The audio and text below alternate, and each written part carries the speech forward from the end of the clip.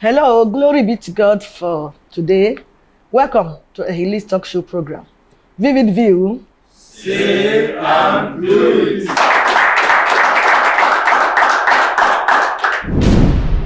No grief for anybody. Say something, somebody. My name is Moses Mark David. No grief for anybody. I believe is uh, one that tells us not to give up despite the situation of life. It is something that tells us to defy all odds positively to survive. Thank you.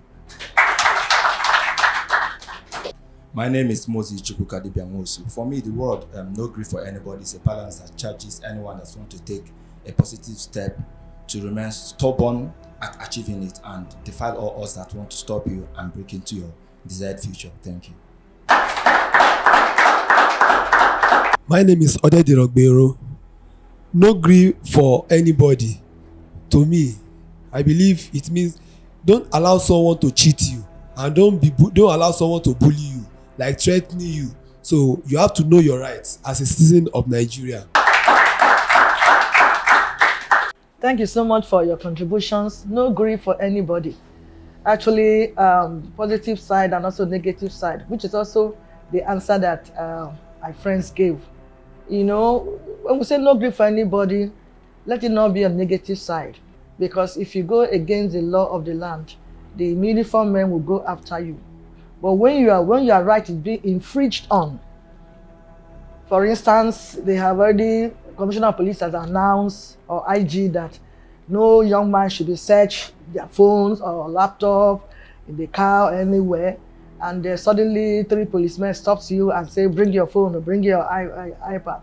You can just tell them, but this is this is not right. You're not supposed to search me. But if you discover that they are uh, number you first and foremost, all you need to do is to just see, apply wisdom, even in fighting for that your right. Apply wisdom, look at the, the, the, the plate on their, their names here. Memorize one person or two names because they will allow you to even use your phone. And then make report if you want to do that, if you want to see fight for that, you know, further. You make report at the appropriate time, perhaps in contact these human fighters or even your, your, your lawyer. Then for the for the positive side of it, what he said, you have already put your hand on what to do. Do not give up. Just follow it. Follow your heart to be able to achieve and to, and to also to survive in this planet Earth. So it's actually in two ways, the negative side and also the positive. But I'm asking you to do that in, in positive side so as a as a youth. So enough for this for now. We'll continue with our program for the day.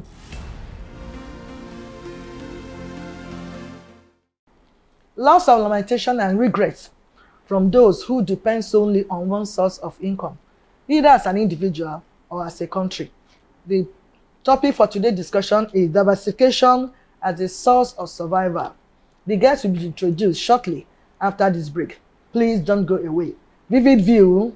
Say and do it.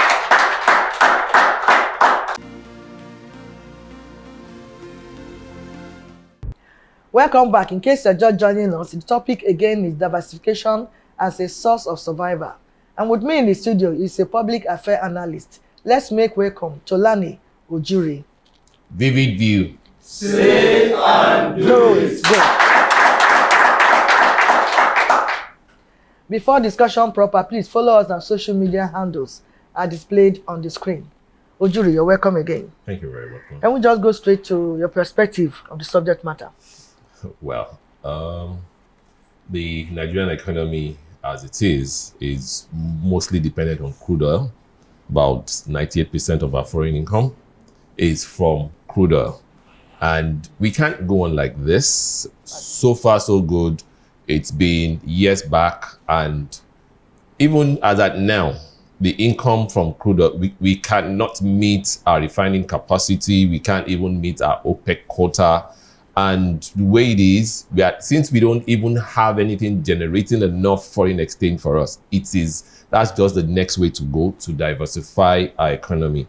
And there are a lot of, I mean, potentials in our land. We have very arable land. We have really um, young people who are ready to work if the environment is right. So it's just for the government to sit down, meet the people at a common point, and look for the way forward. Not even for now. We need to plan. for the next five years, for the next 10 years. years. The world over, um, European Union, the US, even Saudi Arabia, who happens to be one of the largest producers of crude oil, they are moving their economy towards green economy. So what are we doing? We are not even there yet. We're not even talking about it yet.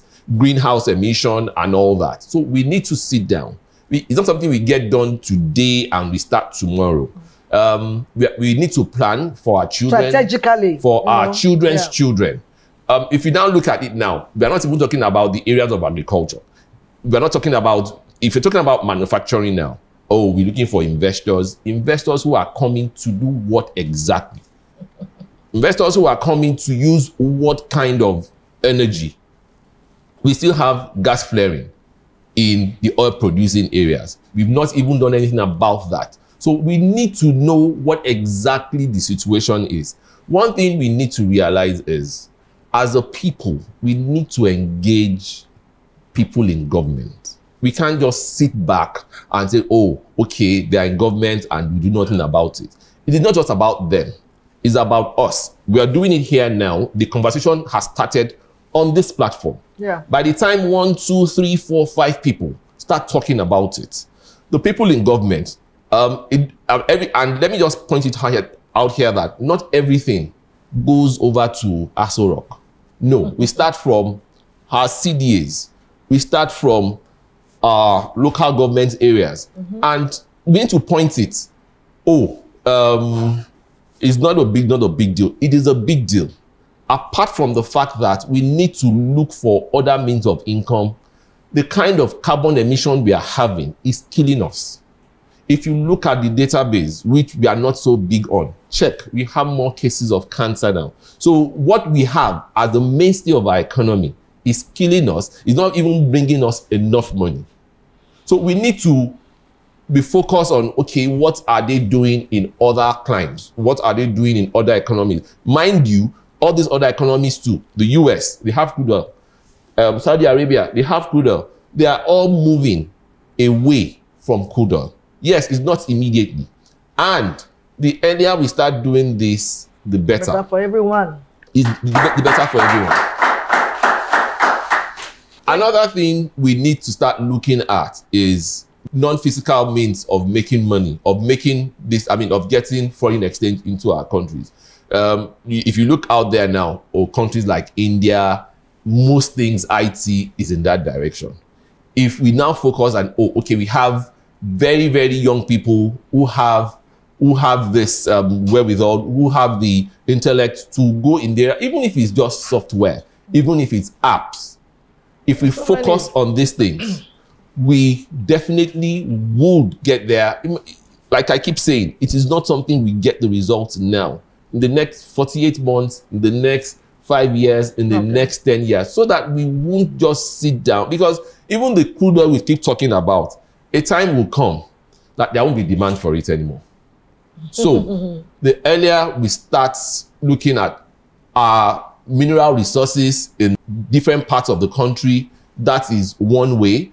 Our IT potentials, that is another Another way. means in which we can diversify, Diversify. I mean, diversify our economy into, and we will make tons of money out of these things. It's not just. Thank you so much for, for the the good opening ground you've just given to us because the all our conversation is going to boil down on what you have just said. There's need for every country to diversify. You know, looking at like my opening, looking at just one source of uh, income, this oil you just mentioned is not really enough for us. But sometimes people will say Nigeria is the giant of of uh, of the African uh, you know community. So why should we diversify? Well, anybody telling us that we're giant of Africa, they're just making a mockery of us. That statement for me, anybody saying that, if, if- and mind you, even if it's a foreigner telling you that, you're not making a mockery of us. So look at the indices. We are not the largest producer of crude oil in Africa. We are not. We are like number two or number three. It keeps going number two, number three. You have other countries in Africa who are producing much, much oil than us. Um, we can't even meet But we have our the population. No, how many are we? Uh, Over 200 million. No, over. we we need to start. Yeah, there's a problem. Yes, we have a challenge. The earlier we start addressing this issue, the better for us. It is not just about the government. In this studio now, the lady at the door can tell, oh, in this studio we have 50 people. If you're going to make provision for food and water, you'll make for 50 people. The population you mentioned, the last census we had was about 2007 or thereabout. So even the government, they don't have the data. Number, of- yeah. the- so they don't even know how many people they are planning for. The earlier we start that from So as- over 200 million, just a guesswork. just a guesswork. how many people? And, and, and why how- I bring this question is that you know some people always say uh, Nigeria is giant of Africa. To some extent, I agree, but then we have a lot that will have done to make us really be giant Africa. That's exactly what you're saying now. In economic was where, where are we giant of, of, of Africa? Africa. You know, only just that population there, and, and, and that's it. So people should not rely on that. Okay, we are, we are big. We need to do really do something to show the world truly that we are the giant of African community. So that's We- one, yeah. yeah, well, we have the numbers. Yeah. We have the resources, Mm-hmm. but the number and the resources they are not meeting at a common point. And even the resources we have is not properly managed. It's not properly managed. The government can't tell you in this area this is the amount of mineral resources we have in this area. This amount of mineral resources. You try and probably try to set up something, not even somebody coming from outside, Oh. in your neighborhood, and try to get the database or try to get oh I'm going to my village. In, in the even in, in the southwest, some areas you have gold in Yeah. raw gold and all that. yeah. Can you please tell me in what quantity do we have raw gold here? What what are the potentials? All you get is maybe the ballet in that neighborhood, or maybe it's uh, one hunter will be the one telling you, well, it's Yeah, possible we have yeah. it here. We need to get our numbers right.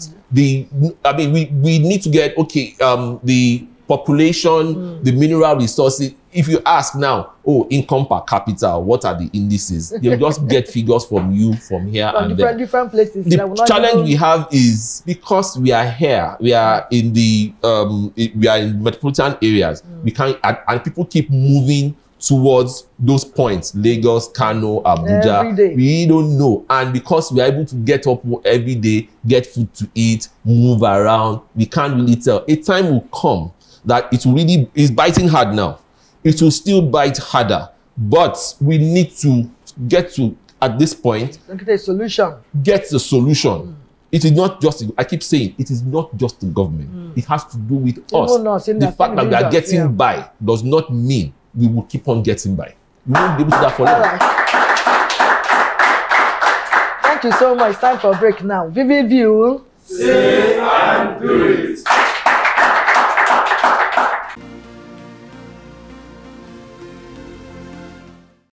Welcome back. We are still discussing diversification as a source of survival.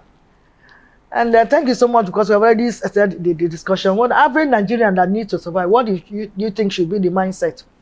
Cut, cut, cut the um, overhead. The things that are not really necessary, cut it off. Cut it off in the means of okay, you're looking at leisure, you're looking at some kind of clothes that you, you don't need for your everyday use, some trips that you don't need to make. Oh, I want to go to um, up country, I want to go to my village like two, three times in a year. You cut it down to once. You cut down some, oh, this person's having a party, there's a party here tomorrow, there's a party there. And when you ask, like, "Ah, me, I need to enjoy myself. No, no, no, no. because even you going to that party is a cost to you. Yes. You're going to burn fuel, you're going to wear your, I mean, you're going to put on clothes in which you have to pay laundry cost for. Just we, we just need to cut our costs. We need to look at oh, if you sit down, how much do I spend on laundry? How much do I spend on electricity? How much do I spend on all those things on fuel? We need to look at those figures, cut our cost first. Yes, food is very important. Number one, shelter. Number two, those those those things definitely are constant. But all other things, we need to bring the cost down. That is number one way of making sure that we keep afloat in a challenging time like this. This syndrome of Japa, do you also think it's, a part of it? The issue of Japa that is um, relocating. yeah, exactly. I keep telling people that it's not the poor man that is relocating. for you to relocate out of Nigeria, you need minimum of 10 million. Exactly. 10 million naira is a lot of money. Mm-hmm. Yes, it's and if really um, I give 10 million to some people in the audience mm-hmm. who have the business acumen, they will roll that money over. Of course. It is just the psyche. We need a reorientation. I'm not saying the country is not tough. Yeah. It is tough. Running a business here now, it is very, very, very tough. tough. Yeah, yes. But our government too should meet the people at a point. We have this problem. This is where I'm taking you. If a mother and father talks to their children, hey, um, you cannot go to this school for this session and next session. This is what from instead of eating two pieces of meat, we're going to eat one. And you notice that when they keep eating two, three, four, of course you will lose faith. So if the government is really ready to meet people and they are very sincere, people will stay back and work for their country. Exactly. Other economies that have been in worse situation and they've been able to bounce back it was because they bought into the Nigerian dream. What is the Nigerian dream? You can't tell me. I don't. I don't. don't see any. But we need to have the dream, something we are looking forward in the next 5, 10, 20 years. And if we do that, we will get better results than relocating abroad. Because that relocating abroad is actually um, costing a lot in Nigeria. We have those are the human resource we have that's supposed to even work here, make their input in our nation. But because of the situation, some of them really uh, find their way out and then contributing to the economy, growing economy of where they are they, they, they are staying. Some of our youth are most of them are actually in, in Canada, yes. contributing to the economy of Canada and all that because they pay tax and other bills you know, which will also increase our own economy here.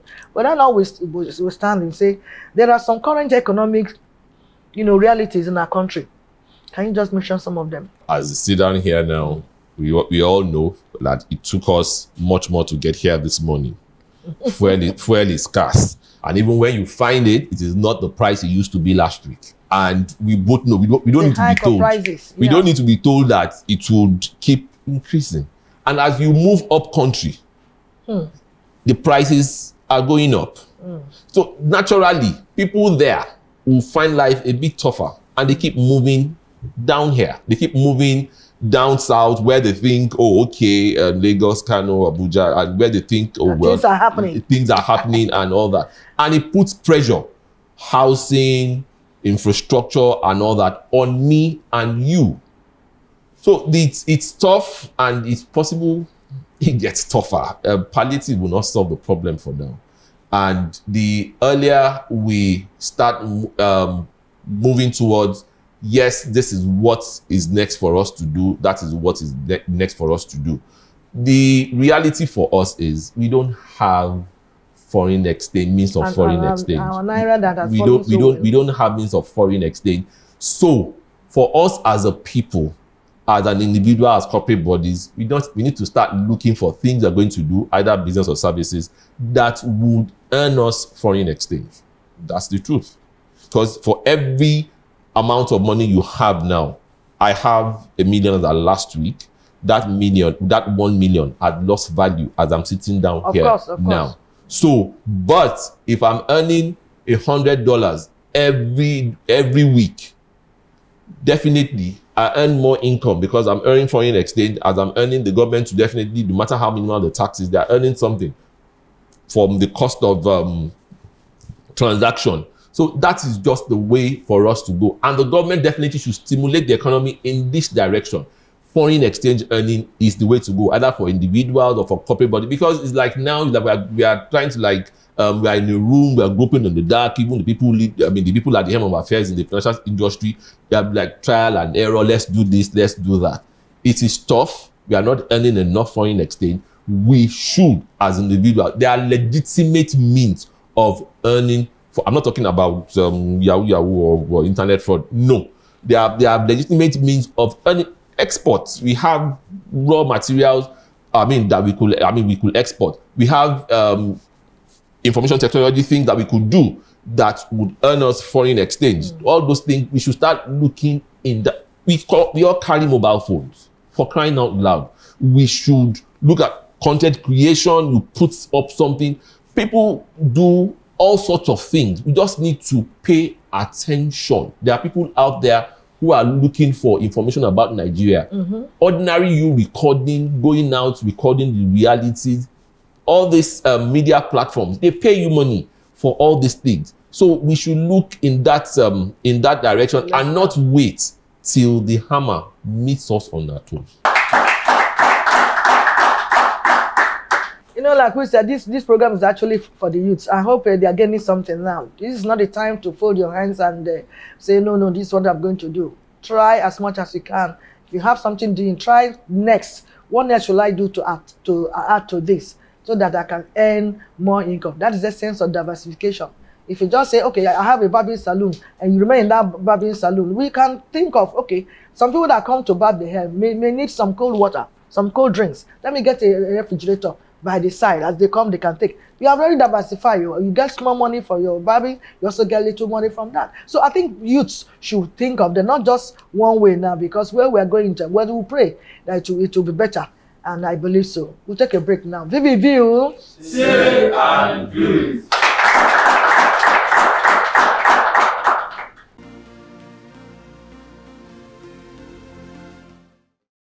Welcome back. Still di- discussing diversification as a source of survival.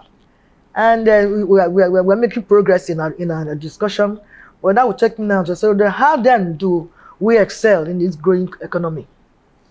Well, um, one of the things that is a plus for us now is information technology, the internet had come of age, and I've noticed that things are not um, the way I've never been to. Let me give an example. Mm, mm, mm, I've never been to trade fair before, mm-hmm. and I know the number of things I bought from trade fair, and um, someone was saying last week that oh some people from the, some parts of the country they are always doing um, fetish things to make sure that they sell. And i said it's not true